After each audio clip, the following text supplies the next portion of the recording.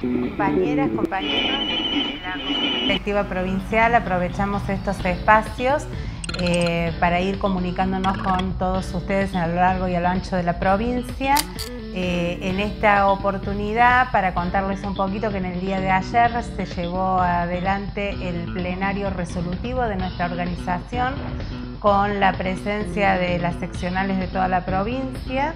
y que por amplia mayoría ATEN ha decidido democráticamente en sus asambleas aceptar la propuesta salarial realizada por el gobierno eh, una propuesta que incluye un aumento del 30% al valor punto, un aumento que a su vez es retroactivo al primero de enero, que deja una mesa de discusión salarial abierta para seguir discutiendo lo que es eh, el tema de la movilidad, la retención de la cuarta categoría y el desfasaje de puntos que hay en algunas horas y cargos de nivel medio y superior y que fija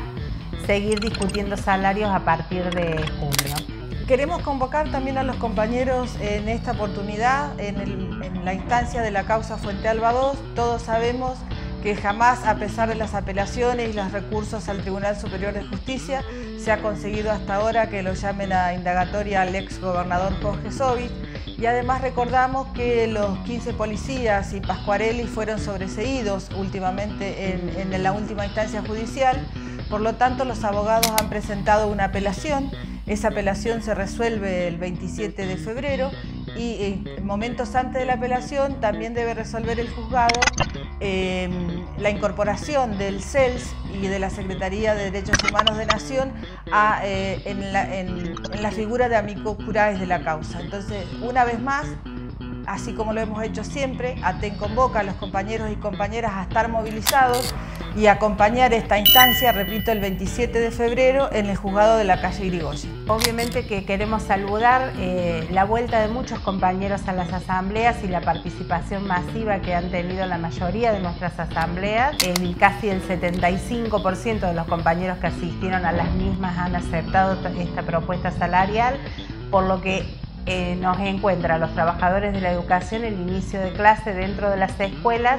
y ahora estaremos muy atentos eh, y en las mesas de, infraestructura eh, controlaremos que las escuelas estén en condiciones, que estén el dinero para las partidas, para refrigerio, que esté el transporte, lo que asegura que eh,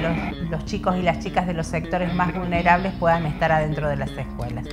también queríamos comentarles que en el marco de la política sindical que hemos decidido, en el, espacio de formación estamos acompañando al primer concurso de vicedirección para escuelas especiales, eh, fruto del trabajo de compañeros de la Junta de Clasificación y de Vocalías Gremiales, y en esa instancia el sindicato está ofreciendo un espacio de capacitación para discutir bibliografía, para discutir temática, para discutir eh, legislación jurisprudencia y vamos a contar con la presencia en este encuentro del profesor Caraza, que es un especialista en educación especial, eh, a que nos acompaña en esto la CETERA, y un compañero de la provincia al que conocen muchos, eh, que es Juan Carlos Gambero, que es un director jubilado. Esta instancia se desarrolla en el local de Aten, en Alcorta 863, abierta para todos los participantes de este concurso y el sindicato se está haciendo cargo del traslado de los compañeros afiliados que tengan que venir desde otras seccionales.